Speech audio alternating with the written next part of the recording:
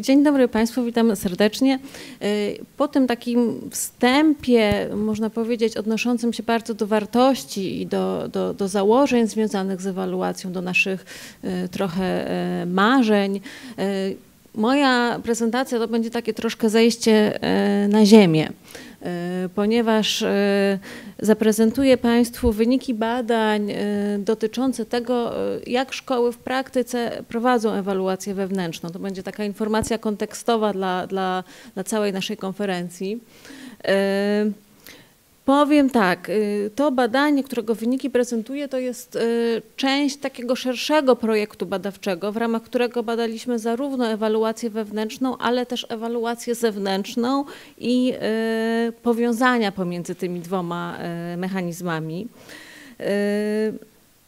Nasze badanie koncentrowało się na poziomie szkoły i tak naprawdę tego, co się dzieje z ewaluacją w szkole, znaczy co się dzieje z ewaluacją wewnętrzną, jak szkoła y, y, prowadzi ewaluację wewnętrzną, jak potem y, wykorzystuje te wyniki, ale też co się dzieje z ewaluacją zewnętrzną po wyjściu ze szkoły wizytatorów, tak? jaki jest ciąg dalszy tego etapu.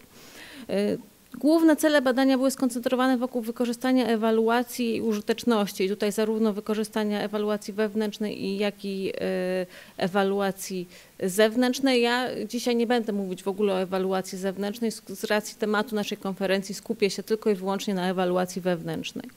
E, badanie prowadzone było w okresie od marca do czerwca 2013 roku, co jest ważne z dwóch powodów. Znaczy podkreślenie tego jest ważne z dwóch powodów.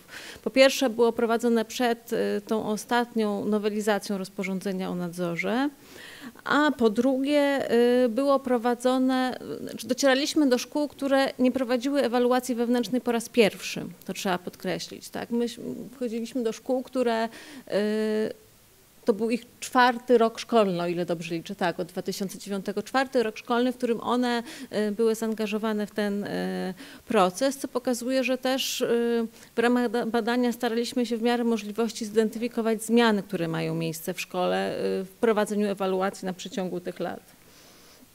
Hmm. Kilka słów o metodologii. Badanie było prowadzone w formie studiów przypadku takiej skoncentrowanej na szkole, 40 szkół e, w ramach trzech komponentów. E, tutaj kryterium wyboru do komponentu był, było to, czy w szkole prowadzona była ewaluacja zewnętrzna, ponieważ tak jak mówiłam, to badanie dotyczyło i ewaluacji wewnętrznej, i ewaluacji zewnętrznej. E, w związku z tym w komponencie pierwszym były szkoły, które, w których prowadzono ewaluację zewnętrzną na rok przed czasem badania, tak? czyli po to, żeby móc zobaczyć, co, co się dzieje w szkole rok po wyjściu wizytatorów. Drugi komponent to były szkoły, w których nie prowadzono ewaluacji zewnętrznej, a trzeci komponent to taki dodatkowy, kilka szkół, w których y, prowadzono ewaluację zewnętrzną w trakcie naszego badania. To znaczy badacze mieli możliwość uczestniczenia już w tej prezentacji wyników ewaluacji zewnętrznej, żeby tak na gorąco y, obserwować to, co się dzieje w szkole. E, wykorzystywane były różne e, techniki i, i, metody badawcze, analiza dokumentacji szkolnych, wywiady z dyrektorami, wywiady z nauczycielami, wywiady z rodzicami, e, obserwacje Rady Pedagogicznej w przypadku tej tego trzeciego komponentu. Y, nie wiem, ponieważ też, też stosowaliśmy zaproszenia do szkół, które brały udział w badaniu. Nie wiem, czy ktoś z Państwa brał udział w tym badaniu, natomiast jeśli tak, to też przy tej okazji bardzo serdecznie chciałam podziękować, bo jak widać było to y, sporo y, pracy. Krótko o doborze próby.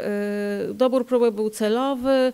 Poza tym właśnie, czy szkoły uczestniczyły w ewaluacji zewnętrznej, czy nie, tutaj uwzględnialiśmy y, takie kryteria jak etap edukacyjny i rodzaj szkoły, więc tutaj badane były zarówno szkoły podstawowe, gimnazja, jak i szkoły ponadgimnazjalne. Y, typ miejscowości, czyli badaliśmy szkoły w miastach i na wsi, a także poziom spełnienia wymagań w ewaluacji zewnętrznej, ponieważ zależało nam, żeby y, dotrzeć do szkół, które y, uzyskały tak zwane wysokie poziomy spełnienia wymagań i, i, i, i niskie. Y, województwo i ten podział wojewódzki nie było kryterium doboru, natomiast y, staraliśmy się, żeby uwzględnić szkoły z różnych regionów i tutaj tylko tak, żeby Państwo zobaczyli, że, że, że to się udało. Teraz przejdę do kluczowej części mojej prezentacji, czyli właśnie tych wybranych wyników dotyczących ewaluacji wewnętrznej. Na początku powiem krótko o, o, o tym, jak ta ewaluacja się wpisuje w, w inne metody, które są stosowane w szkole, inne metody oceny pracy, szkoły, jakości pracy. Przedstawię takie główne podejścia szkół do ewaluacji wewnętrznej. Potem tak bardzo skrótowo o organizacji ewaluacji wewnętrznej i następnie o trudnościach szkół y, związanych z prowadzeniem ewaluacji. Ewaluacja wewnętrzna w kontekście różnych metod to jest jakby bardzo trudne zagadnienie, e, ponieważ e, badani dyrektorzy i nauczyciele najczęściej deklarowali w naszych badaniach, że e, tak naprawdę różnego rodzaju analizy pracy szkoły, oceny efektywności prowadzone są w ich szkołach od zawsze. Więc po wprowadzeniu ewaluacji wewnętrznej, po wprowadzeniu tego obowiązku, e, część jakby z tych stosowanych metod i część z tych wszystkich analiz prowadzona jest nadal, niezależnie od ewaluacji wewnętrznej.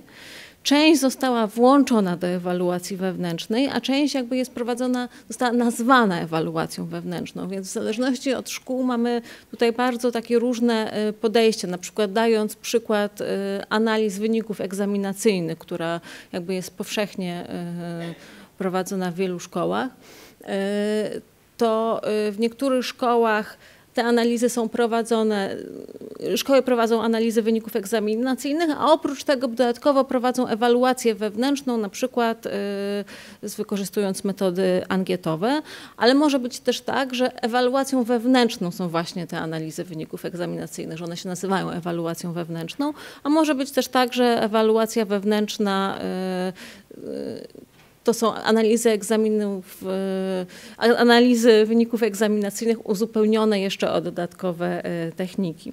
Tak więc ogólnie rzecz biorąc w większości szkół e, chociaż różnią się od tych podejść, w zdecydowanej większości szkół, niezależnie od ewaluacji wewnętrznej, stosowane są też inne, inne sposoby analiz tego, co się dzieje i jaki ma efekt. I one są prowadzone zarówno na tym poziomie ogólnoszkolnym, z reguły bardziej sformalizowanym, ale też na poziomie e, e, takich mniejszych projektów, o których tutaj e, mówił Grzegorz Mazurkiewicz, prowadzonych przez indywidualnych nauczycieli czy przez zespoły nauczycieli. Mm, w ramach badania wyróżniliśmy pięć takich e, podstawowych podejść do ewaluacji wewnętrznej. One są wyróżnione na podstawie tego, tak naprawdę, jak szkoły dokonują wyboru tego, co jest badane w ewaluacji wewnętrznej. E, z tym, że chociaż dotyczą tego, jak szkoły wybierają ten przedmiot ewaluacji, to tak naprawdę mają kolosalne znaczenie, jeśli chodzi o, o to, jak cała ta ewaluacja jest prowadzona, no i w konsekwencji także na to, co, co, co się dzieje z tymi wynikami. Pierwsze podejście, można powiedzieć y, wzorcowe, tak, y, charakteryzuje się tym, że do ewaluacji wybierane są kwestie wynikające bezpośrednio y, z pracy szkoły. To jest jakby to, o czym tutaj była wcześniej mowa, że tak, tak, takie, takie są założenia tego, tego systemu. To są najczęściej jakby problematyczne e, zagadnienia, niepokojące, wynikające z obserwacji, refleksji grona pedagogicznego, wynikające z, z wewnątrzszkolnego nadzoru pedagogicznego, z jakichś pojawiających się e, wydarzeń, niepoko niepokojących na przykład e, zjawisk. W części szkół jakby w ramach tego podejścia prowadzono także ewaluacje dotyczące działań wprowadzonych w szkole, czyli tak naprawdę chodzi mi tutaj o sprawdzanie troszkę efektów wprowadzonych zmian, na przykład wprowadzonego programu e, zapobiegającego e, obniżeniu się frekwencji na zajęciach, e, czy, czy zmian w regulaminie oceniania wewnątrzszkolnego, tego, tego typu mm, ewaluacje. No i w części szkół ewaluacji poddawane są takie kwestie, które są jakby uznawane niejako bezdyskusyjnie za ważne dla e, danej szkoły. Tak? Znaczy tutaj e, nasi badani mówili, że oni e, że u nich w szkole bardzo dużą wagę przywiązują do wartości i do kwestii wychowawczej, w związku z tym ten temat zdecydowali się badać. Więc chodziło mi tutaj o takie podkreślenie, że jakby niekoniecznie zawsze te rzeczy najbardziej problematyczne, ale też, też czasami te, te szczególnie istotne. Druga strategia, tak naprawdę to jest coś, o czym jakby już tutaj wspominano, to jest traktowanie ewaluacji wewnętrznej w kategoriach przygotowania do ewaluacji zewnętrznej. Y, I w tym momencie jakby ewaluacja y, prowadzona jest w odniesieniu y, do wymagań z rozporządzenia. Oczywiście jako hasło wymagania z rozporządzenia, które tutaj będę mówić, to tutaj chodzi mi o wymagania państwa wobec szkół z rozporządzenia o nadzorze pedagogicznym.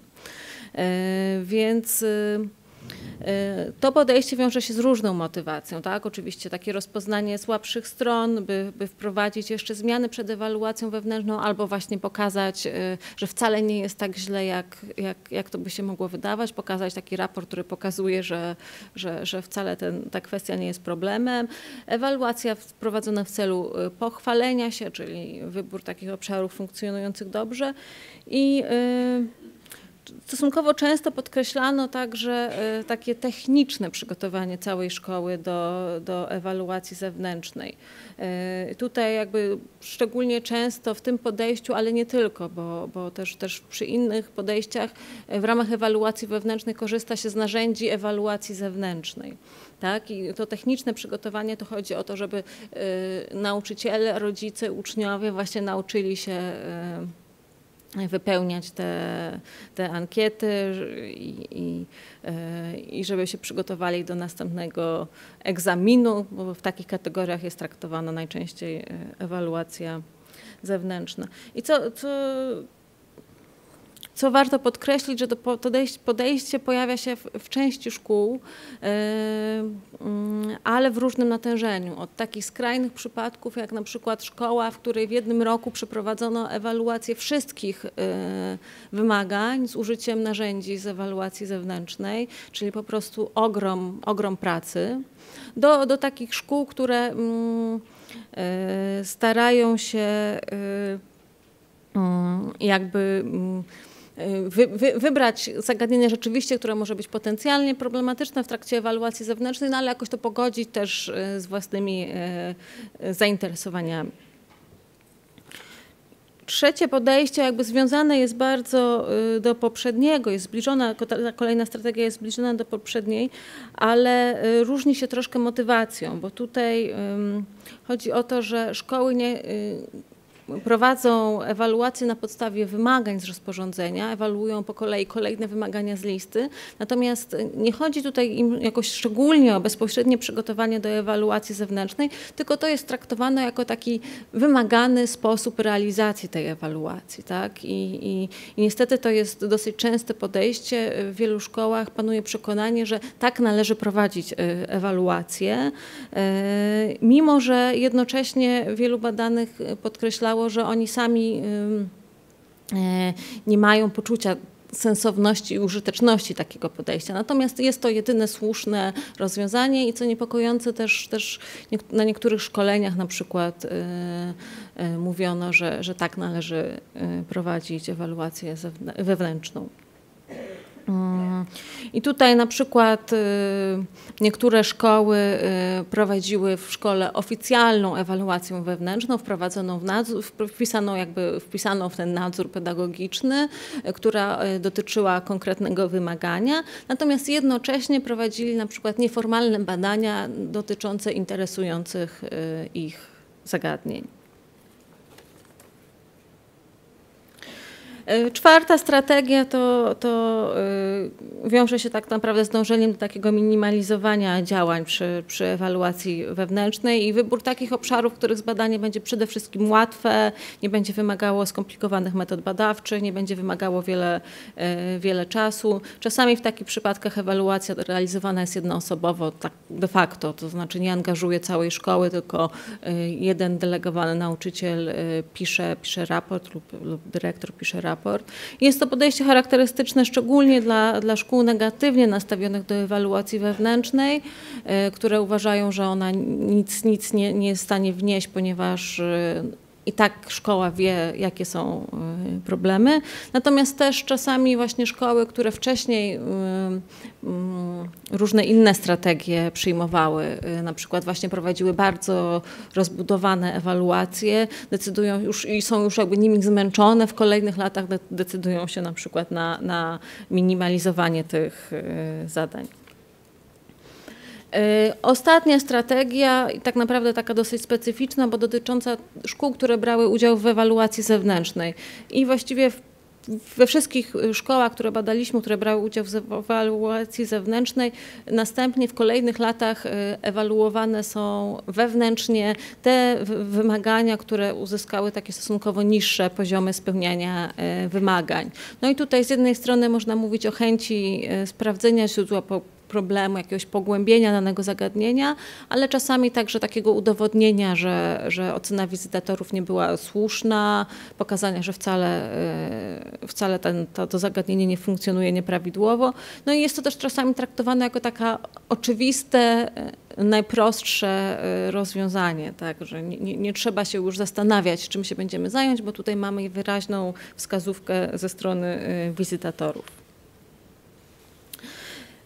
Podsumowując troszkę te podejścia, y, można powiedzieć, że to są jakby takie najbardziej charakterystyczne podejścia. W praktyce zdarza się czasami y, łączenie ich, tak? To znaczy na przykład szkoły wybierają problematyczne dla siebie zagadnienie i starają się jakoś wpasować w te wymagania, żeby jednak ten wymóg wymagań był spełniony, ale żeby to było zagadnienie dla nich y, ważne i interesujące. No i tak jak już, już sygnalizowałam, E, to, te, te strategie zmieniają się w kolejnych latach e, szkoły, które miały strategię przygotowania do ewaluacji zewnętrznej, no po ewaluacji zewnętrznej muszą, muszą e, pójść inną drogą, no i wtedy najczęściej właśnie ewaluują te, te rzeczy wskazane przez wizytatorów. To, co mówiłam, szkoły, które podjęły się ewaluacji bardzo wielu obszarów, w kolejnych latach minimalizują te te działania. No i jest jakby pozytywna tendencja związana z tym, że rośnie, ewidentnie rośnie znaczenie tych czynników wewnętrznych, to znaczy podejścia problemowego i y, brania pod uwagę sytuacji w szkole i, i jej, jej potrzeb. Tak? To widać, że y, z, czasami pod wpływem jakby zewnętrznych sugestii, czasami po prostu pod wpływem y, wewnątrzszkolnej refleksji szkoły stwierdzają, że, że, że to jest to, co jest ważniejsze.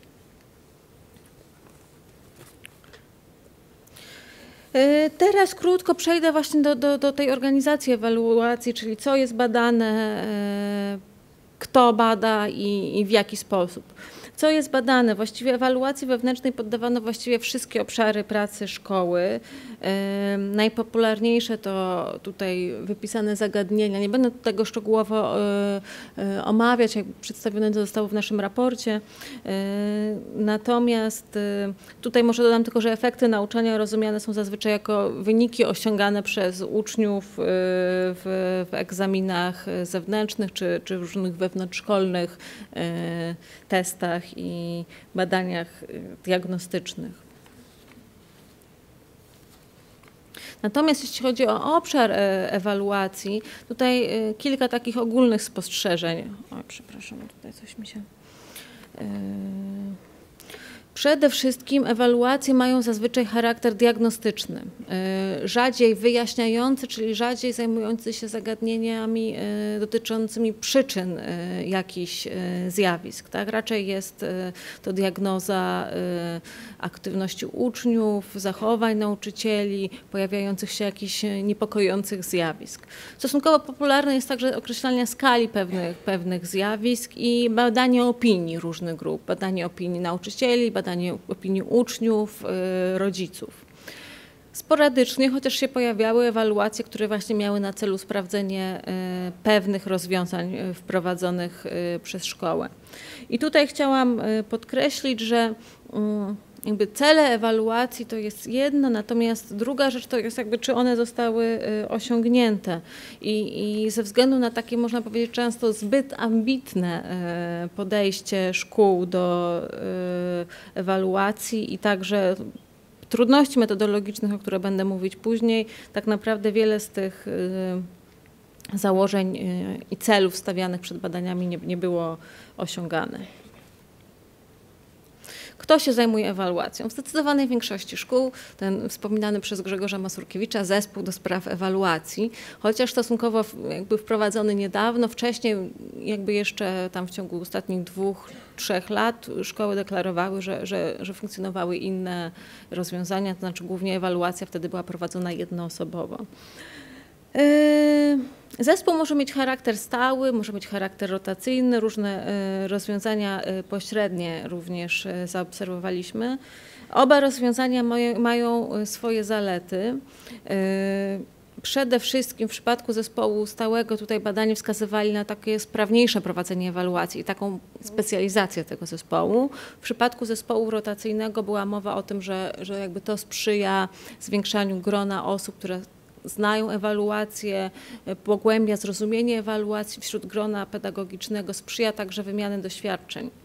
No i w tym kontekście bardzo ważna rzecz, y, że mm, o tym jakby tutaj nie mówię, natomiast jest to jeden z naszych wyników też badania, że jednym z głównych jedną z głównych korzyści samego prowadzenia ewaluacji jest właśnie taka wymiana informacji y, wśród grona pedagogicznego, komunikacja, integracja, wymiana doświadczeń. No i, i, i trzeba się zastanowić, czy funkcjonowanie takich zespołów stałych, które prowadzi do sytuacji takiego zamykania się y, wyspecjalizowanego grona i jakby ograniczania tej dyskusji y, wewnątrz szkoły, czy nie jest tak naprawdę negatywne negatywnym zjawiskiem, a ewidentnie jakby w tą stronę szkoły idą. Znaczy specjalizacji w ramach ewaluacji, nie takiego e, włączania e, szerokiego e, wielu nauczycieli. Mm, jeśli chodzi o autonomię takiego zespołu ewaluacyjnego, E, to zespół jest zazwyczaj zależny w kluczowych sprawach od decyzji przez, podejmowanych przez dyrektora. E, rzadziej prace zespołu e, związane są z taką pełną autonomią. Decyzje podejmowane przez dyrektora dotyczą jakby tych kluczowych spraw wyboru przedmiotu ewaluacji, doboru członków, często harmonogramu z ewaluacji. Dyrektor zatwierdza narzędzia badawcze. No i oczywiście to w zdecydowanej większości szkół wnioski z badania. Natomiast wraz z upływem czasu w niektórych szkołach i, i jakby takim właśnie umocnieniem się tych zespołów widać tendencję do przyznawania im większej e, swobody działania. No i dużą swobodę działania mają też zespoły w takich szkołach, których ewaluacja jest, nie jest uznawana za rzecz e, w ogóle ważną. Jakie metody są stosowane? Tutaj minister, pani minister mówiła, że, e, że dużo jakby dyskusji się koncentruje na metodach, więc ja krótko. E, główne spostrzeżenie jest takie, że powszechny jest nacisk i powszechne wykorzystywanie ankiet. Często w ramach jednego badania, jednego zagadnienia w szkole prowadzone są ankiety z kilkoma grupami e, respondentów. Kwestionariusze opracowane są z reguły na podstawie różnych wzorów bądź samodzielnie przez nauczycieli. Czasami, wykorzystywane są tutaj też narzędzia z ewaluacji zewnętrznych. Analizy danych zastanych również bardzo często są wykorzystywane i tutaj można mówić o dwóch grupach. Pierwsza to są takie związane z, z wynikami uczniów y, dane, czyli wyniki egzaminacyjne, wyniki sprawdzianów, y, y, oceny, frekwencja uczniów, a druga grupa to są różnego typu dokumenty szkolne dzienniki lekcyjne, e, protokoły ze spotkań e, i tego typu dokumenty. E, prowadzone, i to są jakby dwie dominujące metody. Rzadziej wykorzystywane obserwacje i wywiady, z reguły prowadzone w taki mm, sposób bardziej nieformalny, i, I, co ciekawe jest to, że, że w wywiadach mm, dyrektorzy i nauczyciele często jakby podkreślają, że, że, że to, co oni wiedzą o szkole, to właśnie jest wynika z obserwacji, wynika z rozmów, z wywiadów. Natomiast w ramach swoich ewaluacji y, rzadziej wykorzystują te, te techniki. E, w przypadku wywiadów wiązać to w jakimś stopniu można e, z taką pojawiającą się jakby niezręcznością związaną z oceną pracy, taką, związaną z taką publiczną oceną e, pracy innych osób, która, która była sygnalizowana. Opracowanie wyników i ich prezentacja. No, we wszystkich badanych szkołach opracowywany był raport o bardzo zróżnicowanej formie, zależnej w dużym stopniu od doświadczenia y, szkoły, więc on mógł mieć formę bardzo króciutkiego sprawozdania, formę prezentacji, formę rozbudowanego raportu z wykresami, z tabelami. Y, wszystkie takie analizy ilościowe i właśnie wyniki tych badań kwestionariuszowych często były prezentowane jakby w formie tylko wykresów lub y, tabel z wynikami. No i co się wydaje ważne jakby z wypowiedzi badanych tak naprawdę y, przygotowanie raportu, takiego podsumowania tych wyników, większość uważa za taką czynność niepotrzebną, dodatkową, czasochłonną, a kluczowa jest sama analiza materiału i prezentacja tych wyników i dyskusja nad nimi. Tutaj trzeba podkreślić, że, że w większości szkół odbywają się jakieś prezentacje wyników ewaluacji wewnętrznej. Też oczywiście często jest to, z reguły jest to jeden element z z rozbudowanego spotkania Rady Pedagogicznej, któremu się nie poświęca za dużo uwagi, ale w niektórych szkołach, na przykład tutaj akurat pozytywny wpływ ewaluacji zewnętrznej, przejęto ten sposób dyskusji nad wynikami, który ma miejsce w ewaluacji zewnętrznej. To znaczy, że w ewaluacji zewnętrznej na końcowym etapie przedstawiane są wyniki, potem jest jakaś praca w grupach, y, taka praca warsztatowa, no i niektóre szkoły, które miały ewaluację, ewaluację zewnętrzną, takie same podejście zastosowały do, do swojej ewaluacji y, wewnętrznej. Trudności szkół związane z prowadzeniem ewaluacji. Y, tutaj y, trzeba podkreślić, że prowadzenie ewaluacji dla większości badanych szkół nie jest zadaniem łatwym i powszechne jest to poczucie niepewności, o którym już też wspominał Grzegorz Mazurkiewicz, związane z prowadzeniem ewaluacji, takie poczucie czy ewaluację prowadzimy dobrze, czy dobrze opracowaliśmy narzędzia, czy, czy, czy we właściwy sposób y, formułujemy wnioski. Y, I, i jakby widać, że, że, że wielu badanych, chociaż już jakby na, na przestrzeni tych lat, oczywiście zidentyfikowaliśmy szkoły, które bardzo dobrze sobie radzą z, z ewaluacją zewnętrzną, z ewaluacją wewnętrzną, mają duży poziom refleksji na, na, na, dotyczącej tego, co robią i jak, jakie to ma efekty. Natomiast y, jednak w większości przypadków widać jakby to poczucie takiej niepewności i które no, nie nastraja też pozytywnie do tego zajęcia. Umówmy się, że jak ktoś jest niepewny tego, co robi nie jest do końca zadowolony y, z jakości, no to nie, nie jest też przychylnie nastawiony do takiej pracy. Um.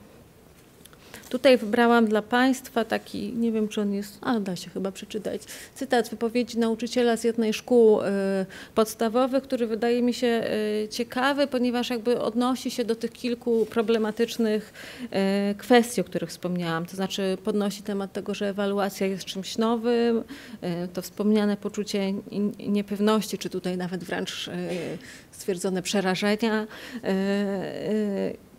problem korzystania z niesprawdzonych niesprawdzonych źródeł i bazowania ewaluacji wewnątrzszkolnych na niesprawdzonych źródłach informacji, y, no i, no i, no i kwestia konieczności dopasowania ewaluacji do, do sytuacji szkoły.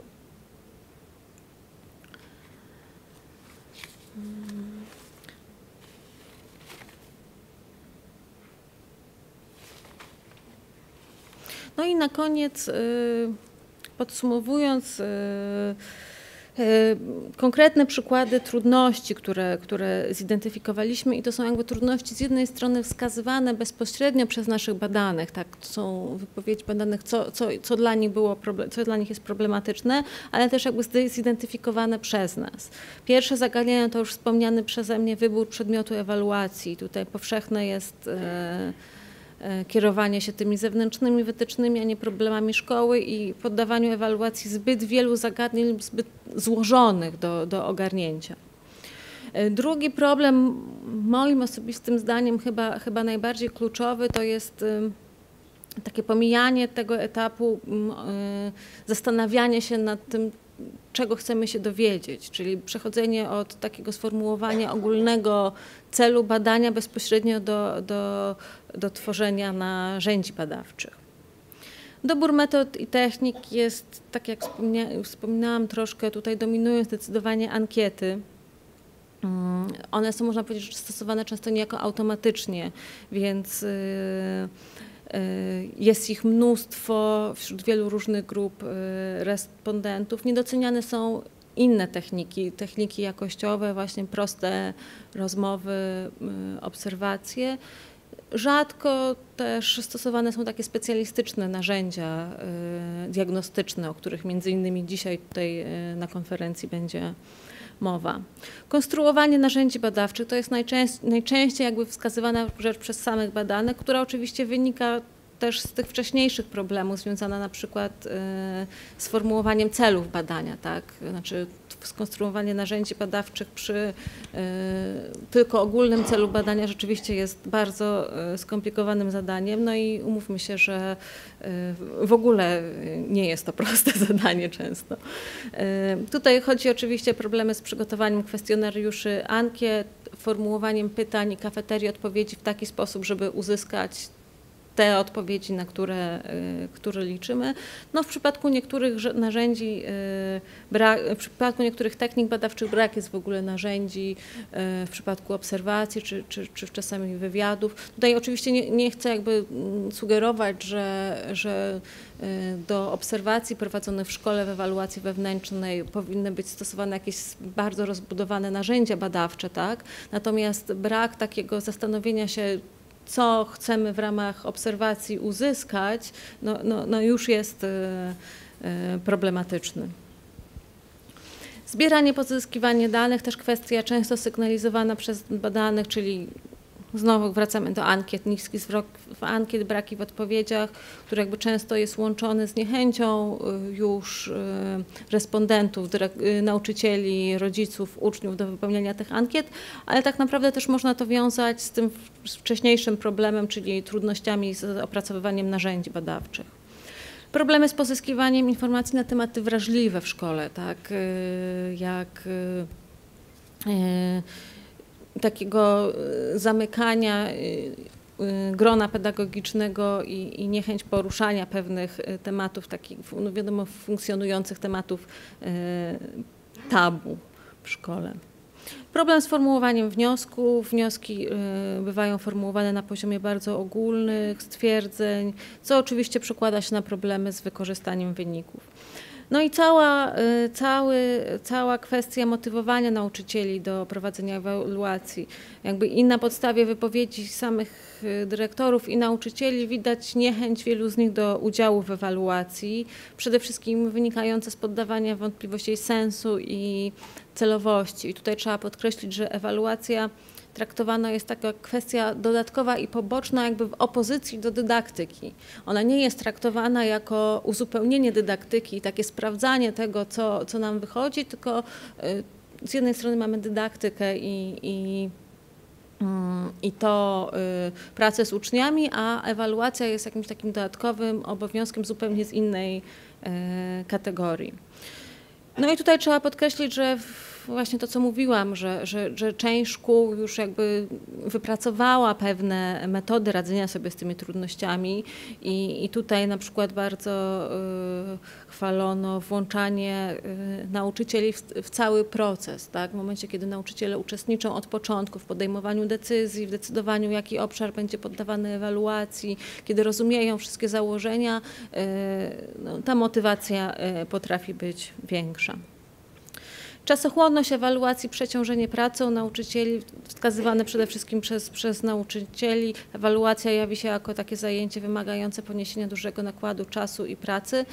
W kontekście tego, o czym mówiłam, czyli tego, że w niektórych szkołach decydowano się na ewaluację wszystkich wymagań, y, bardzo licznych y, badań ankietowych, jakby to, to absolutnie mnie nie dziwi i, i, i muszę powiedzieć, że z podziwem y, patrzę na, na na, na, jakby na pracę wykonaną w, w, niektórych szkołach.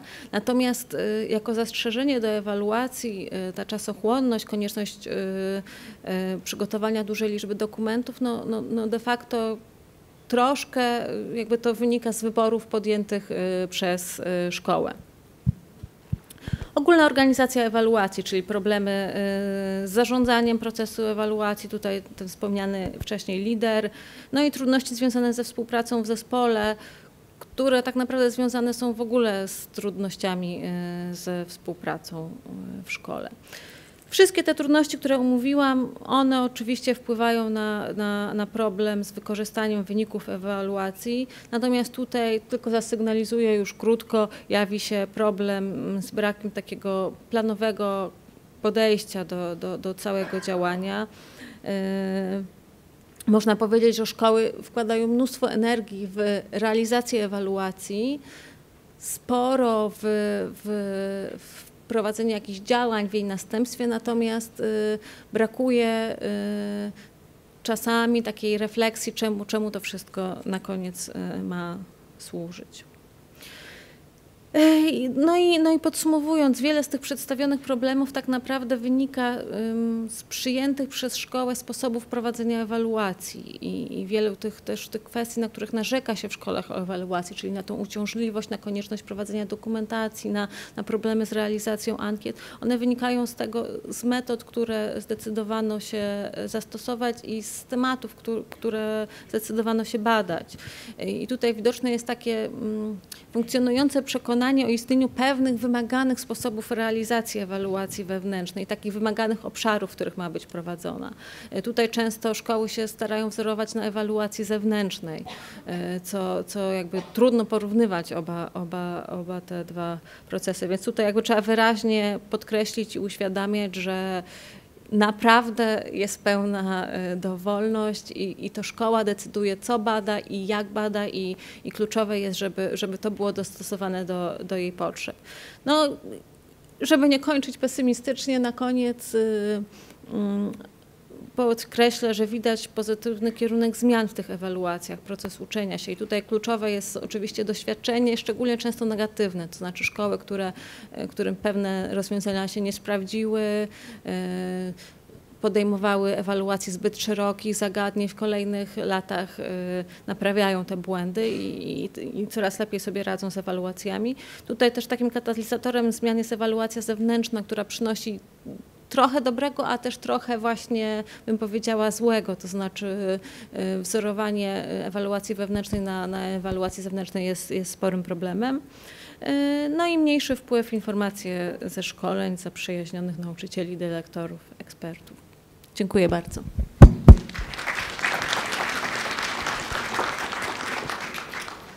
Co było, co działo się w erze przed, przed słowem ewaluacja, przed wprowadzeniem hasła ewaluacja wewnętrzna.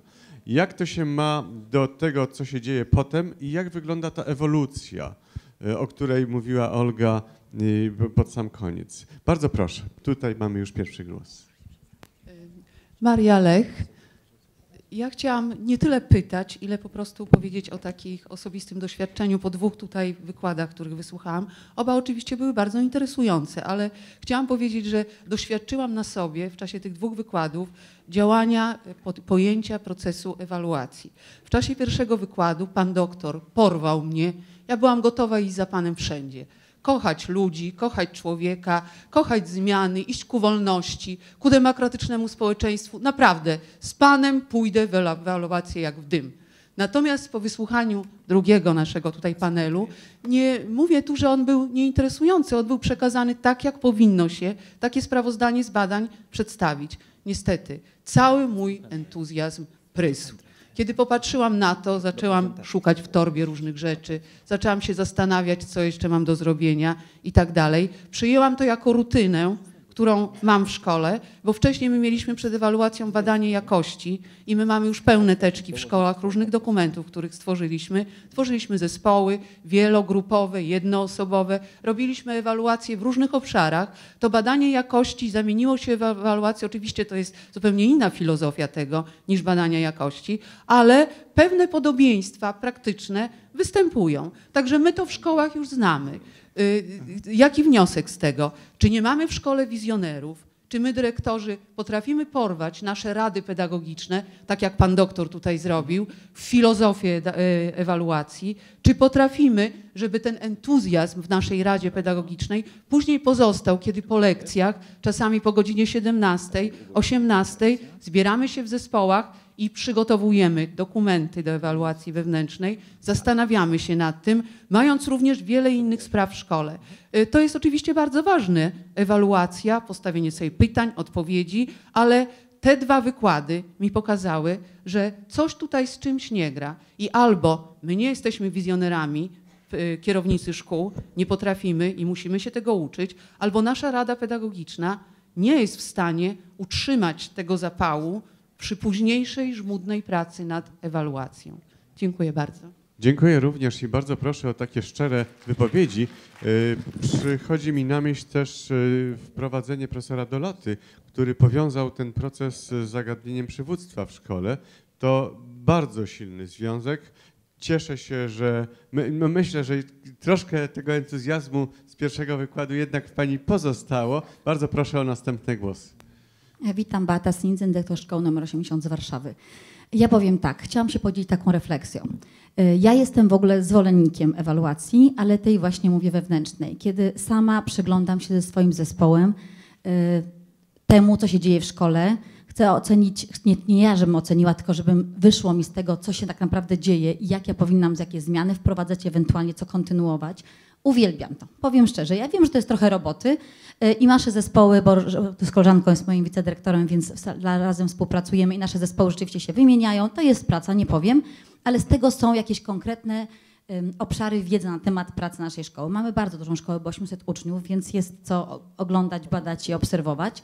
Natomiast tutaj się y, do tego właśnie tej euforii, co pani dyrektor powiedziała na temat wykładu pana profe- doktora i rzeczywiście ja też poczułam, że ta ewaluacja jest czymś fajnym. Ja tylko chciałam się ustosunkować, dlaczego my się tej ewaluacji boimy albo jej nie lubimy, tak? Bo troszkę tak też jest. Y, Ja wewnętrzną ewaluację uwielbiam. Jako dyrektor w pierwszym roku oczywiście rzuciłam się na tysiąc obszarów, tych, które wynikają z rozporządzenia, bo się bałam inaczej podejść. Potem mi to przeszło, spokojnie, badam to, co mnie interesuje, chcę wiedzieć coś o mojej szkole. Niekoniecznie to, co każą mi badać. I to jest, dlatego ja to lubię, bo to jest moje. Natomiast jeśli chodzi o ewaluację zewnętrzną, wszystko byłoby fajnie, gdyby nie ocena. Już Państwu tłumaczę, o co mi chodzi. Te punkty D, A, E są punktami, które nas ym, paraliżują.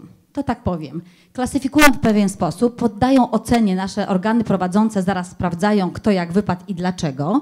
I na przykład ja bardzo chętnie bym chciała, żeby ktoś z zewnątrz przyszedł i ocenił moją szkołę, bo może ja ym, produkuję pewien rodzaj narzędzi, które badają nieodpowiednio moją szkołę, za słabo, może to nie jest prawdziwy obraz, może to jest obraz mój, mojej, mojej placówki, a ktoś z zewnątrz przychodzi i daje mi prawdziwy obraz. Ja bym bardzo chciała dowiedzieć się, jak to jest ocenione przez osobę z zewnątrz, żeby to były wnioski, rekomendacje, tu państwa działa fajnie, tu źle, tu bardzo źle, co zrobić i tak dalej. Natomiast przychodzą te punkciki A, B, C, D i ja się po prostu zwyczajnie w świecie ich boję. Boję się o to, że e, ta ocena wpływa na ocenę mojej placówki, a nie chciałabym, żeby wpływała, bo nie ma tak, że wszystkie obszary są złe. I myślę, że właśnie ta, ta sytuacja tej oceny, gdyby to było ocenianie kształcujące, a nie ocena w postaci cyferki, mówiono, że te oceny nie mają wpływu, nie mają znaczenia, że normalnie szkoły zwykle mają D, a wyjątkowe mają A, ale ja porównuję placówki, które już były oceniane, które miały ewaluację e, i wiem, jak to potrafi być e, czasami moim zdaniem wcale niesprawiedliwą oceną, krzywdzącą, czasami bardzo trafną rzeczywiście. E, I też znam, e, ja jeszcze nie byłam poddana ewaluacji zewnętrznej, czekam, myślę, że to już niedługo przyjdzie. Natomiast też znam sytuacje, jak wyglądają, bardzo przepraszam, jak kogoś urażę, jak ktoś to jest z, ewaluato- z ewaluatorów. Też tak to wygląda, że pan doktor mówił, dyskutujemy, może inne spojrzenie. Owszem, przy wewnętrznej tak. Ja mam jakąś wizję, nauczyciele mają inny wynik, dyskutujemy, super. Natomiast przychodzi ewaluator, on ma wytyczne, nie, nie, to tak nie odpowiedzieli, czyli to jest źle. Nie, to tak nie powinno wyglądać. To jest moja opinia. Dziękuję bardzo. Dziękuję serdecznie. Myślę, że to jest głos, który prosi się o, o, o, o, o odpowiedź, także profesor Mazurkiewicz ma głos. Ja tylko dwa zdania. E, Przypominam, że mówiłem, to nie jest usprawiedliwienie, tylko jakby, żeby zrozumieć. To jest proces polityczny. Obecność literek jest ewidentnie e, polityczna, natomiast minister Kluzik e, obiecała przed wakacjami na kongresie OSKKO, że te literki znikną i z tego, co się orientuję, właśnie trwają prace, które przygotowują zniknięcie. Zniknięcie. Dziękuję bardzo. Rzeczywiście ta reakcja zewnętrznego ewaluatora, ale bardzo proszę, ja może nie ograniczę swoją, swoje zapędy. Kto, kto jeszcze chciałby y, za, m, zabrać głos? Jeszcze to porównanie przeszłości z teraźniejszością i jak to ewoluuje. Ktoś jeszcze chciałby dopowiedzieć? Proszę Państwa, może o, jeszcze, jeszcze dru, druga prelegentka, też damy jej prawo, prawo głosu. Tak, ja tylko chciałam y, odpowiedzieć tutaj pani, że oczywiście moją intencją nie było y, y, zniszczenie tego zapału, które tutaj stworzył y, Grzegorz Mazurkiewicz, raczej właśnie pokazanie, jak, jak, jaka jest taka praktyka szkolna. Znaczy, że praktyka szkolna jest właśnie bez tego zapału i to, je, to jest bardzo, bardzo, bardzo przykre.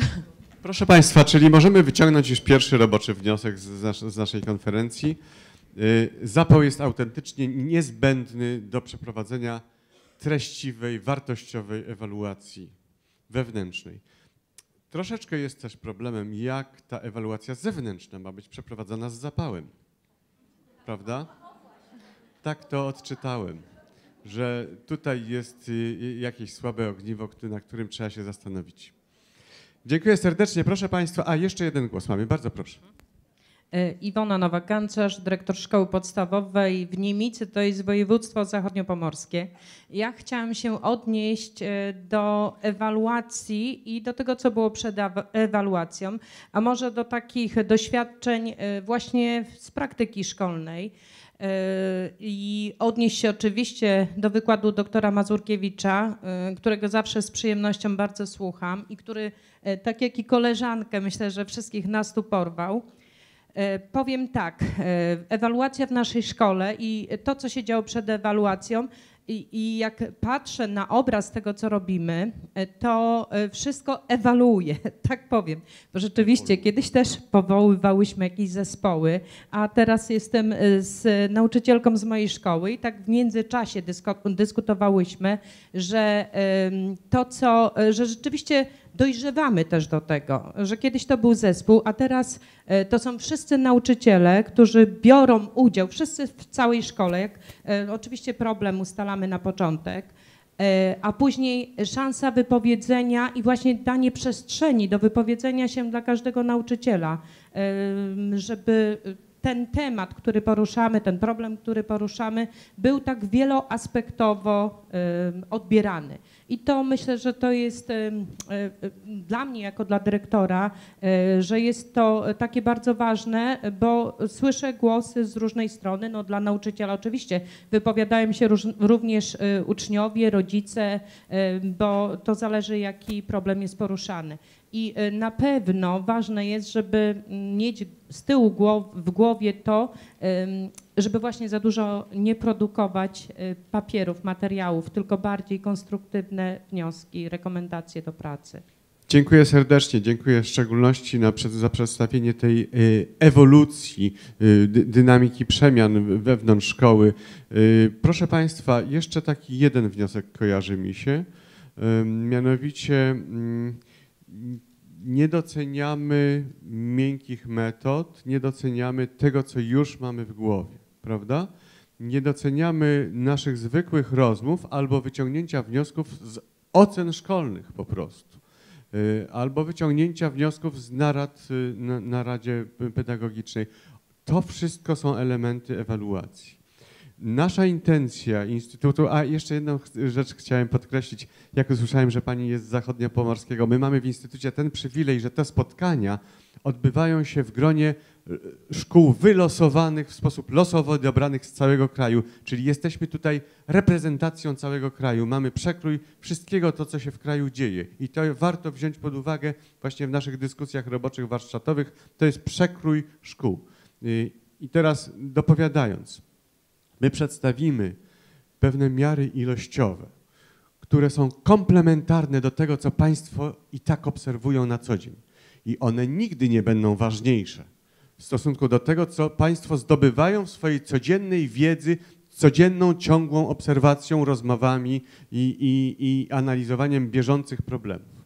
Chodzi tylko o to, żeby uzupełnienie tej wiedzy jeżeli się Państwo zdecydują na konkretny problem, do czego można zastosować, zastosować konkretne narzędzie, zrobić lega artis, zrobić nie fetyszyzując tych liczb, ani ankiet, ani ankietomanii, ani testomanii, ani nic z tych rzeczy, tylko umieć y, spokojnie zinterpretować wyniki i zdezagregować te wyniki, rozłożyć na czynniki pierwsze, co one faktycznie y, znaczą, nie ograniczać się do powierzchownego pokazania, to są takie numery, liczby, wy- wyniki i tutaj już mamy ten kwit na ten temat, tylko y, y, siedzi w środku ta głębsza informacja i o tym jest nasze również spotkanie warsztatowe.